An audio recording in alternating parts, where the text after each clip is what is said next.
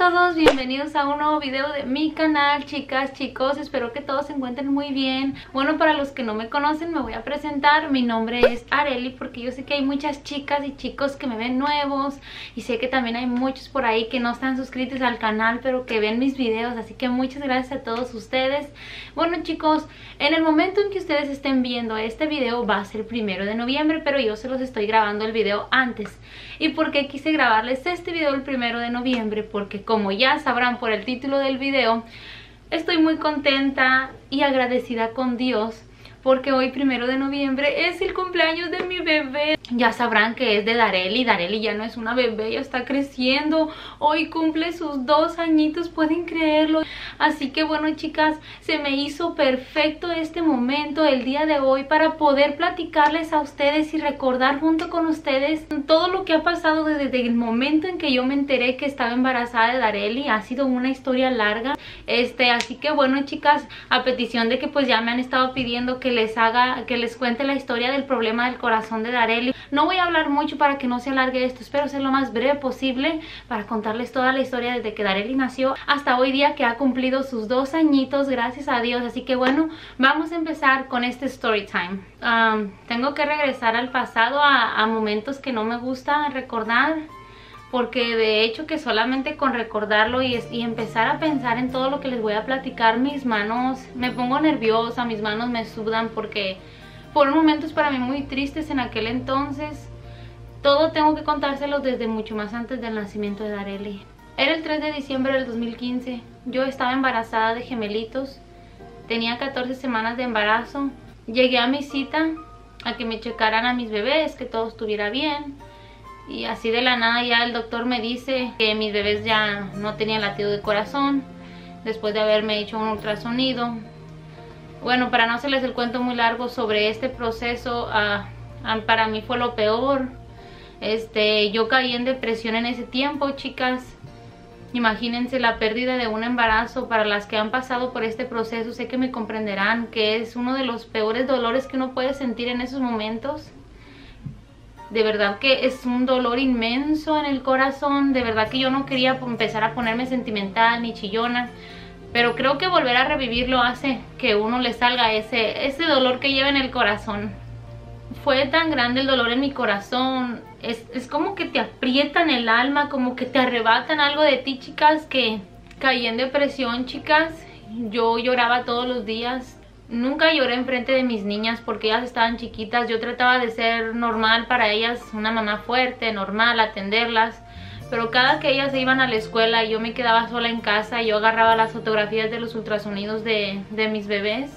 y yo empezaba a llorar en la soledad. Pasó todo el mes de diciembre y, y, yo con ese sufrimiento, pasó todo el mes de enero. Fue una depresión como como interna, como en silencio, porque nadie sabía más que las cuatro paredes del cuarto donde yo lloraba por, mi, por la pérdida de mi, embarazo.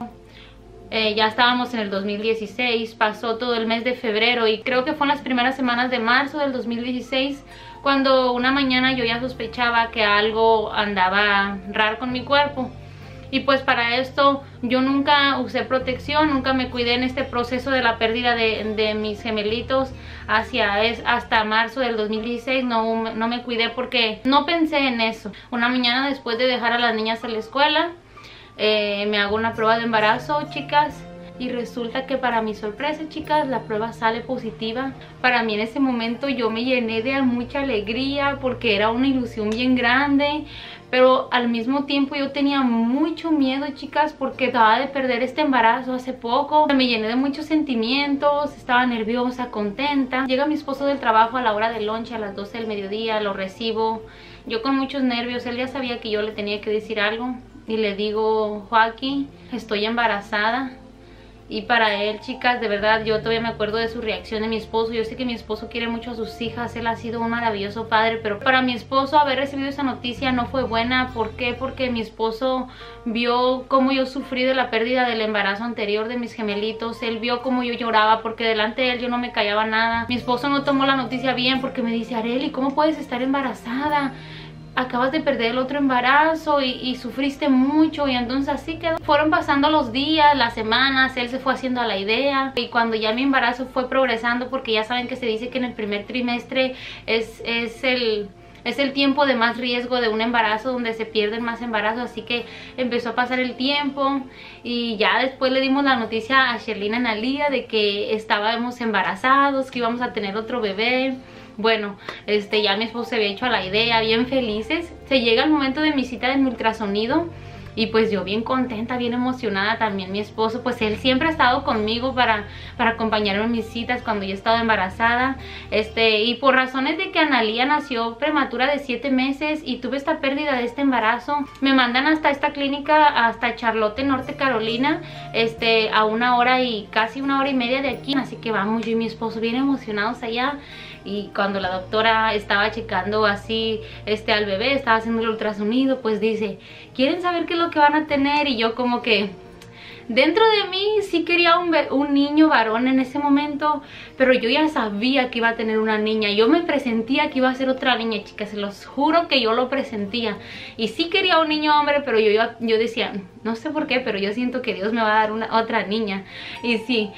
cuando la doctora nos dice, yo me moría de la risa porque mi esposo, obviamente que me imagino que él igual que yo ya esperaba que este fuera su hijo varón. Y, y pues yo de verdad que me morí de la risa y le digo, no puede ser otra niña y pues a mí me encantan las niñas porque pues ya saben cómo son de coquetas estas niñas. Entonces yo, yo me empecé a hacer las ideas en mi cabeza de los vestiditos, los moñitos, zapatitos bonitos. Y pues sí, yo bien contenta, la doctora chicando al bebé me dice ay, hay algo que no puedo ver en el corazón del bebé, te voy a tener que hacer otra cita para que vuelvas pronto, pero no te preocupes, no es nada malo, porque se le ve algo que no, no alcanza a ver bien, entonces quiero que vengas después para, para checar que todo esté bien, pero no es nada malo.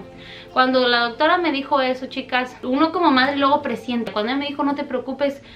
yo sabía que algo no estaba bien. Entonces, bueno, nos vamos con mi esposo. Yo me fui con, ese, con esos nervios de que me dijo que no podía ver a, mi bebé bien de su corazón, pero que todo estaba bien y yo, yo lo presentía. Ok, volvemos a la siguiente cita. Y ahí fue donde comenzó la pesadilla de mi embarazo, chicas. ¿Por qué la pesadilla? Porque en esa cita, chicas, le hicieron todo tipo de ultrasonidos a mi bebé que le pudieron hacer. Le hicieron uno y otro y otro. Le hicieron lo mejor de ultrasonido que le podían hacer a mi bebé en su corazón y entonces tardamos horas en el hospital ese día y luego el doctor nos llama a una oficina para darme noticias que yo ya me presentía chicas entonces cuando el doctor me suelta todas las noticias que yo me presentía que algo venía mal con mi bebé de verdad que para mí eso fue como Ahora sí que como dicen, el, un balde de agua fría porque yo quería disfrutar de mi bebé, de mi nueva bebé, porque yo había pasado por un proceso feo de, de mi aborto, entonces el doctor me empieza a decir que mi bebé venía que mi bebé venía con un problema muy grave de corazón, chicas, que mi bebé tenía la mitad de su corazón, el lado izquierdo del corazón de mi bebé estaba muy pequeño, que mi bebé tenía que tener como unas tres operaciones en cuanto naciera, que mi bebé iba a estar en cuidados intensivos cuando naciera, que mi bebé iba a tardar meses en recuperarse que le iban a tener que poner medicinas a su cuerpo para que, para que su corazoncito no dejara de latir, porque su corazón venía muy malo. Entonces el doctor me empieza a explicar que iba a tener que tener mi bebé al nacer una operación de corazón abierto. Y, entre eso me dijo que pues yo no le iba a poder dar pecho a mi bebé. Cuando reciben pecho su corazón está haciendo ejercicio, su corazón está este, como ejercitándose. Entonces para mí me cayeron todas esas noticias así a mis cinco meses de embarazo, chicas, cuando yo solo lo que quería era felicidad y disfrutar de mi recién nacido después de tantos años de querer volver a ser madre de un recién nacido. Este, yo lloré horrible, él me trataban de consolar porque estaba como una terapista o no sé qué ahí a un lado del doctor, yo estaba llore y llore. Después de ese momento en adelante mi embarazo fue toda una pesadilla porque a pesar de que yo amaba tanto a mi bebé que estaba en mi vientre, chicas, yo, le hablaba, le ponía música, le decía todo debe estar bien, le oraba a Dios, le decía, Señor, que mi bebé no nazca mal, por favor, haz el milagro. A pesar de todo eso, en las noches cuando me acostaba a dormir, eran pesadillas. Yo despertaba bien asustada, no podía dormir, mi corazón despertaba acelerado, yo soñaba que, que mi bebé moría. Pero bueno, siempre me mantuve positiva, a veces como que quería llorar, de pensar que cuando mi bebé naciera tal vez no la iba a librar pero por mi bebé que estaba en mi vientre y cómo sentía yo que se movía. Cuando yo le hablaba a mi bebé, ella respondía lo que yo le hablaba. Mis niñas, Shelina y Analia, le hablaban a la bebé y, la, y la bebé se movía, chicas. Entonces, por ella yo era bien fuerte y trataba de no llorar y de no pensar en lo que iba a venir en el futuro, trataba de disfrutarla lo más que podía. Después de tantos monitoreos de corazón, este, que me hicieron en todo el embarazo para asegurarse de que mi bebé estuviera latiendo su corazoncito bien. Me inducen mi parto a las 39 semanas porque dicen que un bebé con problemas de corazón no puede nacer este, después de las 39 semanas. Entonces me dan mi cita para el primero de noviembre del 2016 a las 11 de la mañana. Yo tenía que estar en el hospital que está a una hora y media de aquí de mi casa. Bueno, esa mañana me despedí de mis niñas, Shelina y Analia, les dije despídanse de la pancita y que de hecho ese es el primer video que está en el canal, chicas, el primer video que hice, ese fue donde cuando yo iba a ir al hospital a tener a, mi bebé, entonces les digo a las niñas despídanse de la pancita, yo me fui bien contenta, yo estaba positiva, yo dije mi bebé va a estar todo bien, yo no pensaba en que ella iba a venir con su problema de corazón, así que bueno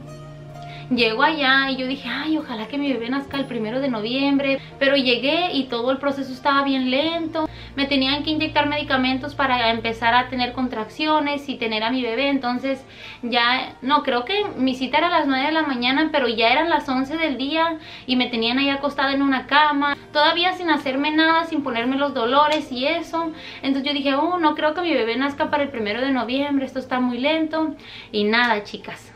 a las 9 con 10 minutos creo que fue a las 9 de la noche nace mi bebé, la tuve por parto vaginal, gracias a Dios, la tuve sin nada de anestesia, ¿por qué? Porque yo tenía en el embarazo mi sangre, algo en mi sangre que estaba abajo, no sé qué era, que no me permitieron poder ponerme la epidural, la medicina que es para la espalda, para que este, para que uno no sienta dolor, yo la tuve esa medicina solamente de analía, de Sherlina tuve natural sin medicina, analía la tuve con medicina, con medicina y a Dareli la tuve sin medicina y a mí no me la pudieron poner de Darel y yo no quería sentir dolor, la verdad yo dije, ¿para qué sufrir si hay estas medicinas hoy en día? Pero entonces no me la pudieron poner y pues a las 9 de la noche yo tuve a mi bebé con un dolor chicas pero de verdad que yo no sé cómo aguanté para no gritar porque casi no gritaba, no pujaba y tanto que me quería aguantar y hacerme la fuerte yo chicas para poder tener a mi bebé bien tranquilita me aguantaba yo la respiración cuando me venían las contracciones y entran las enfermeras a la carrera al cuarto y me empiezan a poner estas este, máscaras no sé cómo le llaman de oxígeno y me dicen no te aguante la respiración porque estamos viendo, estamos monitoreando a la bebé y estamos estamos viendo que le está faltando el oxígeno porque tú te estás aguantando la respiración. Y yo me quedo como que, wow, yo no sabía esto. Entonces, cuando yo me aguantaba la respiración, yo sentía menos los dolores, pero como me dijeron eso, entonces yo trataba solamente de, de poner mi mente enfocada, ¿me entienden?, en, en resistir los dolores. Entonces, bueno, mi bebé nace a las 9 de la noche y según me habían dicho que yo no iba a alcanzar a ver nada mi bebé cuando naciera, que se iban a llevar para cuidados intensivos en cuanto naciera. Pero pues sí, en lo que ya me estaban limpiando a mí todo eso del parto, me ponen a mi bebé así en la cara, bien bonita. Yo recuerdo todos esos momentos. Disculpen que me emociono, porque de verdad que haber tenido a mis niñas de es una cosa muy linda, el parto. Yo cuando veo partos de otras chicas, yo luego me pongo así a chillar. Disculpen que me emocione. Me ponen a mi bebé así en la cara, yo sin poder tocarla porque se le iban a llevar y mi bebé mirándome hacia la cara. Y mientras la doctora le decía a mi esposo todo lo que iba a pasar con mi bebé, yo solamente le hablaba a mi bebé hacia la cara y yo le decía, mami, todo va a estar bien, corazón, ya no te va a pasar nada malo porque según los doctores cuando ella estaba en mi panza, me decían que ella venía con un problema muy grave, que ella no iba tal vez, no sé, que no iba a resistir tal vez con su mitad del corazón funcionándole porque era la mitad del corazón más grande que la otra mitad, entonces entonces se llevan a mi bebé a cuidados intensivos y me llevan a mí a mi habitación. Para esto, eh, y Analia las tuve que dejar a cargo de una señora que me las iba a cuidar ese día porque no tenía pues cuando uno le hace falta a la mamá o la familia de uno, pues tienes que buscar cómo te cuiden a tus hijas cuando no tienen quien te ayude, ¿me entienden? Y entonces le pagamos a una señora para que se quedara a cargo de ellas los tres días que, este, que yo estuve en el hospital y pues la verdad yo me yo con todo el dolor del mundo allá en el hospital y mis niñas por acá este yo pensaba en ellas. Eran este las 10 de la noche me dijeron para las 10 de la noche van a venir a hablar contigo van a hacerle estudios a tu bebé y van a decirte qué es lo que va a pasar con ella de ahora en adelante. Así que bueno se llegaron las 10 de la noche porque la tuve a las 9 a las 10 se llegaron las 10 de la noche no venían, llegaron las 11, las 12 y hasta la 1 de la mañana llegó alguien a, a, hablarnos sobre todos los estudios ultrasonidos que le habían hecho a mi bebé en el corazón. Dijeron, les tenemos tremendas noticias, me dijeron, tu bebé no está tan mal de como pensábamos que iba a estar, tu bebé iba a tener una operación de corazón abierta, es lo que suponíamos cuando estaba en tu vientre, pero hemos hecho muchos estudios en ella y tu bebé no tiene la mitad de su corazón más pequeña que la otra, tu bebé tiene su corazón entero del mismo tamaño, tu bebé no va a tener que tener una operación de corazón abierto ni va a tener que durar meses en el hospital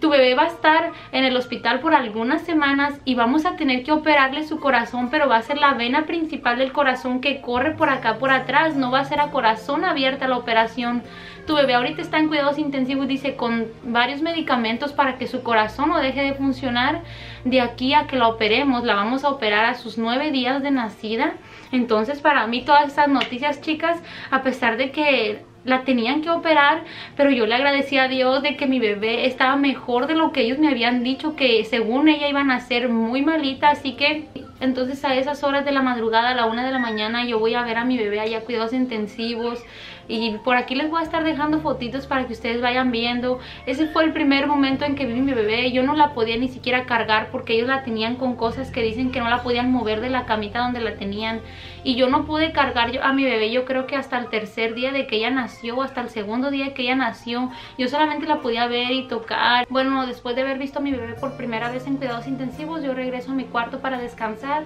Le digo a mi esposo, ¿sabes qué? Vete a la casa con las niñas, yo no quiero que estén solas. Vete con ellas, yo voy a estar bien aquí. Se vino para la casa. En el momento que mi esposo se, se fue y me dejó sola, pues yo no tengo familia aquí, nadie está ahí para cuidarme, para acompañarme en ese día que yo acaba de parir, entonces se va mi esposo y yo empiezo con una lloradera, no sé, pero se me vinieron muchos sentimientos de saber que yo tenía una bebé en cuidados intensivos luchando por su vida, que yo tenía dos niñas solas en casa, cuidado de alguien más, que yo me había quedado sola en ese cuarto de hospital y sin nadie que me acompañara, ni una mamá, ni un, ni un familiar, entonces se me juntaron tantas cosas de saber que yo no podía tener a mi bebé que tanto anhelaba tener en mis brazos de recién nacida, se me juntó todo, que empiezo a llorar en cuanto mi esposo se va, lloré, lloré esa noche chicas, viene una enfermera y me dice que si me iba a empezar a sacar leche para mi bebé. Y yo empiezo a sacarme la leche y a sacar a tratar de sacar leche con las máquinas que te dan. Son máquinas electrónicas para sacar este la leche. Entonces empiezo yo y nada, que no sale la leche, chicas, ahí estoy, que no sale. Al día siguiente viene la enfermera a pedirme este la leche y le digo que no me sale nada de leche. Y este y traía una asesora de lactancia y me viene a decir que que tal vez era por estrés, que, que, intentara, que le diera más veces al día con la máquina para ver si así me salía. Yo sabía, chicas, que yo no podía sacar esa leche porque yo estaba bien estresada. Yo estaba deprimida porque mi bebé estaba en cuidados intensivos, mi esposo en la casa con las niñas y yo sin poder ver a las niñas. Llega el día en que yo me tenía que ir a la casa, yo me tenía que venir a la casa y dejar a mi bebé en cuidados intensivos sola porque ahí no te dejan que te quedes en cuidados intensivos, solo puedes estar todo el día de visita, te puedes quedar todo el día pero no puedes dormir en cuidados intensivos, entonces yo me vengo a la casa y yo lloraba porque yo quería verla y ella allá en el hospital, chicas, lejos de mí a una hora y media, o sea, de saber que la tenía apenas hace tres días en mi vientre y de saber que la había dejado en un hospital y que yo no podía hacer nada por ella. Entonces, bueno, yo empiezo a ir todos los días al hospital, mandaba a mis niñas a la escuela y me iba al hospital porque estaba a una hora y media, entonces me quedaba ya todo el día con mi bebé. En cuanto yo llegaba a ese cuarto de hospital, chicas, a cuidados intensivos, yo iba corriendo por ver a mi bebé, yo quería abrazarla porque yo creo que fue como el tercer día que ya me dejaron cargarla y yo la tenía en mis brazos todo el día, chicas. De verdad que yo la disfrutaba, aunque ella estaba luchando por su vida y lloraba porque le dolía algo y yo sin saber y las, las, enfermeras de verdad que a veces en cuidados intensivos yo siento que sí se pasan y que no atienden a los bebés muy bien porque mientras yo estaba ahí con mi bebita en cuidados intensivos cuidándola, los bebés en las otras cunas porque son cunas que tienen así cortinas solamente y que hay cunas de muchísimos bebés alrededor con problemitas por todos lados, entonces hay bebés con todo tipo de problemas ahí. Y a mí me daba cosa pensar de que mi bebé también la dejaban llorar las enfermeras cuando yo no estaba ahí para cuidarla porque esas enfermeras ahí en el teléfono o hablando entre ellas, tal vez para ellas ya era normal escuchar a los bebés llorar y no los atendían. Y yo, ay, yo cuando estaba con mi bebé todo el día, yo la abrazaba, yo, la, yo le platicaba, la grababa. Este, y bueno, chicas, en, estos transcurso de, de, los primeros días de nacida de mi bebé, le hicieron estudios, estudios de mi bebé para saber exactamente lo que le iban a hacer el día de su operación. Entonces, todos estos días, para mí, cuando yo tenía que dejar a mi bebé en la tarde en ese hospital para regresar a casa, para mí era lo más doloroso porque era una recién nacida inofensiva. Yo no quería que se quedara ahí ella llorando y que nadie me la atendiera. Entonces, este cuando yo me venía a casa, pues yo regresaba a llorar a la casa. Para mí de verdad que fueron días de sufrimiento. Se llega el 9 de noviembre, creo que fue el día de las elecciones cuando eligieron al presidente que está actualmente. Este fue el día de la operación de mi niña. Se llega ese día y yo sabía que cuando se llegara ese día todo iba a cambiar porque a mí me dijeron que el día que operaron a mi bebé le iban a dar un cuarto de hospital para ella y ahí yo me iba a poder quedar con ella, cuidarla todos los días, día y noche, era como un cuarto de hotel para mí a la cuenta porque me iban a dar comida, este iba a tener yo todas las comodidades para cuidar de mi bebé cuando ya mi bebé estuviera operada, o sea, la iban a pasar de cuidados intensivos a un cuarto este aparte, entonces se llega el 9 de noviembre a las 5 de la mañana el día de la operación Chicas, yo sé que les digo que lloré, lloré, lloré, pero de verdad que este día cuando me despido de mi bebé en esa mañana cuando le iban a llevar a operar, dijeron que iba a ser una hora y media de operación, que le iban a abrir aquí porque su vena principal de corazón estaba cerrada y no pasaba sangre del corazón a, todo el cuerpo. Entonces este se la llevan a operar. Ya después de tres horas, porque según iba a ser una hora y media y después de tres horas vienen y me dicen que mi bebé ya había salido bien, que ya estaba en un cuarto, la tenían anestesiada, iba a tardar mucho en despertar y pues yo y mi esposo fuimos corriendo a verla, chicos, ahí veía yo a mi bebita bien hinchada de su cara, le habían metido tubos que para, no me acuerdo para qué era para la respiración, un tubo grandísimo, a mí me asustó mucho porque mi bebé no despertó en todo ese día de su operación y mi esposo se fue para la casa, desde el momento en que yo me quedé con mi niña el 9 de noviembre en el hospital hasta el día en que ella salió del hospital. Vino mi cuñada desde Chicago a quedarse aquí solamente para cuidar a mis niñas. De verdad que ella fue de gran ayuda para mí. Ella me mandó a las niñas a la escuela en todo este tiempo, desde el 9 de noviembre hasta el 23 de noviembre, que mi bebé fue el día que salió del hospital. Yo se lo agradezco de corazón porque ella me mandaba a las niñas a la escuela porque yo no venía para la casa para nada. Yo me quedé internada con mi niña hasta que mi niña saliera del hospital, chicos, y yo casi no veía ni a mi esposo, ni a Shelly, ni a Lía. Yo sufría por ellos mientras mi Dareli se recuperaba en el hospital. Fue un proceso muy difícil, chicos, de verdad, lo que pasé. No los veía, los extrañaba demasiado. Ahí pasé un cumpleaños porque yo cumplo años el 12 de noviembre. Sí me iba a visitar mi esposo y las niñas, pero pues eran ratitos que ellos podían estar porque mi esposo tenía que regresar al trabajo. Mis niñas, era muy largo el camino y yo no quería que durmieran tarde por ir a verme. Así que bueno, al otro día de la operación de mi bebé, ella despierta, mi bebé despierta con su garganta bien dañada, le habían dañado su gargantita con la máquina que le habían metido para la respiración el día de la operación. Entonces ella cuando lloraba, lloraba como horrible, como si le escuchaba su garganta raspada, no lloraba normal, un sonido raro, no se los puedo ni describir. Entonces despierta toda hinchada de sus ojitos, sus ojitos no se le abrían cuando al día siguiente de haber despertado de su operación y pues yo ahí estaba para cuidarla chicos, es lo que gracias a Dios yo ahí estaba para verla, para cualquier doctor, doctor que viniera a revisarla porque venían terapistas, todo tipo de doctores a checarla, este, ahí estaba en ese cuarto yo para ella, yo me sacaba leche, pues para esto yo ya estaba produciendo leche, yo empecé a producir leche como vaca, yo toda esa leche la congelaban y se la daban a ella este, con fórmula porque querían que mi bebé ganara peso porque en la operación, el día de la operación mi bebé empezó a bajar de peso, entonces le revolvían leche materna con leche de fórmula para darle más nutrientes a mi bebé. También venía una terapista que según le hacía terapia en sus pulmones para que no se pegaran, entonces le hacían bien duro aquí y mi bebé recién nacida, de solo días de nacida, le hacía la terapia, una terapia que para que sus pulmones no se pegaran de estar acostada todo el tiempo, le hacía duro en sus pulmones pero con sus dos manos, era según una terapia. Y yo me asustaba pero ella me decía tu bebé va a estar bien, yo esto lo hago siempre pues fue difícil el proceso chicos en este proceso ellos me fueron enseñando cómo checar a mi bebé cuando estuviera en casa, los peligros, me fueron preparando a mí para cuando mi bebé se recuperara yo saber qué hacer en la casa. Entonces mi bebé empezó a recuperarse, se, empezaba a ver bien alegre en el hospital, este, bien despierta y se llegan como el 20 de noviembre yo ya me desesperaba por irme a la casa porque yo casi no veía a Shelly ni a Lía ni a mi esposo. Fueron momentos muy difíciles chicos, pero los doctores nomás no me querían soltar a la niña porque la niña no subía de peso, mi bebé no estaba subiendo de peso normal. Creo que fue el 23 de noviembre del 2016 cuando me dijeron que mi bebé ya iba a poder salir del hospital. Fue el 22 porque mi bebé salió el 23. Entonces Ay, no, no podía creerlo yo. El 23 de noviembre llego a la casa con mi bebé, toco la puerta sin decirle a las niñas, mi esposo fue por mí, toco la puerta, no le avisamos a las niñas porque ellas me extrañaban demasiado, querían ver a su hermanita, que de hecho ellas no la pudieron ver hasta como las dos semanas de nacida porque ellas no podían estar en cuidados intensivos hasta que la pasaran a otro cuarto. De verdad fue un proceso larguísimo, pero se los quiero resumir, así que el día que yo toco la puerta con mi esposo y con la bebé en brazos y las niñas me ven, chicos,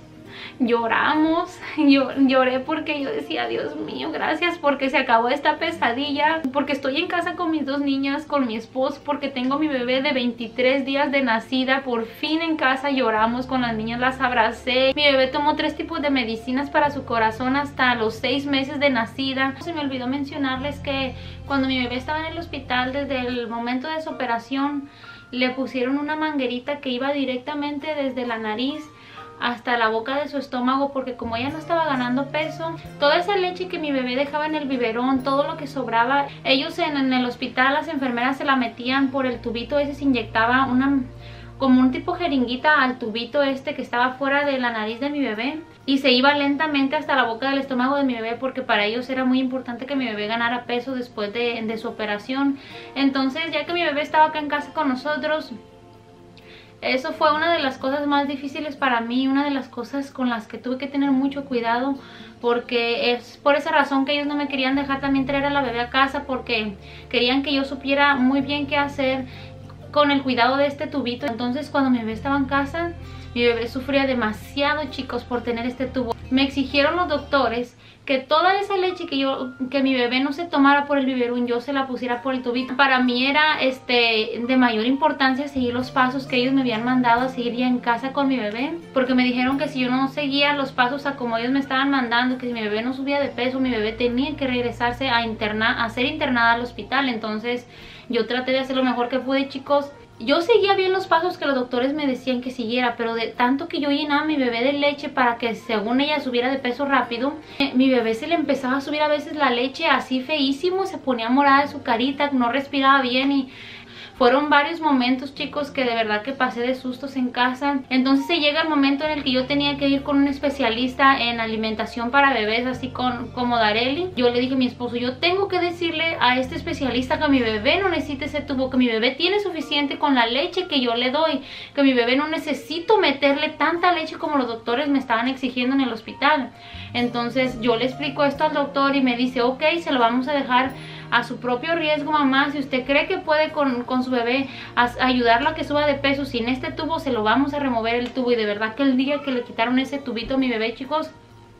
para mí fue eh, de alivio porque ese, ese tubo le molestaba a mi bebé horrible, por eso su garganta se dañó tanto porque le pasaba el tubito por su pequeña garganta, que también Dareli estaba yendo con otro especialista en garganta. Dareli tuvo muchos especialistas por todo este, por este problema de corazón, chicos, pasó por mucho mi niña. Y pues ya mi bebé después nos deshicimos de ese tubo yo como su madre que soy, chicas, yo obviamente que quiero lo mejor para ella y la verdad que yo pude hacerla que mi bebé subiera de peso normal, tomando la leche de pecho. Entonces sí chicos, así pasó el tiempo y mi bebé pues gracias a Dios seguía mejorando. En todo este tiempo mi bebé ha tenido citas con su cardiólogo este, para que la checaran, para ver si tenía suficiente oxígeno en su cuerpo, si su corazón estaba funcionando bien. Y entonces pues sí chicas, mi bebé tiene su operación aquí en la vena principal, está así la rajada de grande, este de ahí fue de donde le quedó cicatrices, todo esto le cruza todo lo que es debajo de la axila y este mi bebé gracias a Dios ha progresado, de verdad que yo siento que es un milagro de Dios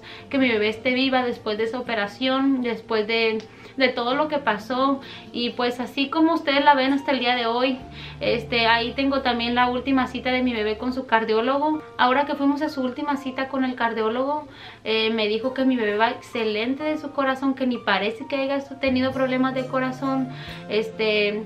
pero me dijo que mi bebé va a tener una operación de corazón más adelante en la vida para reemplazarle algo que tiene en su corazón. Entonces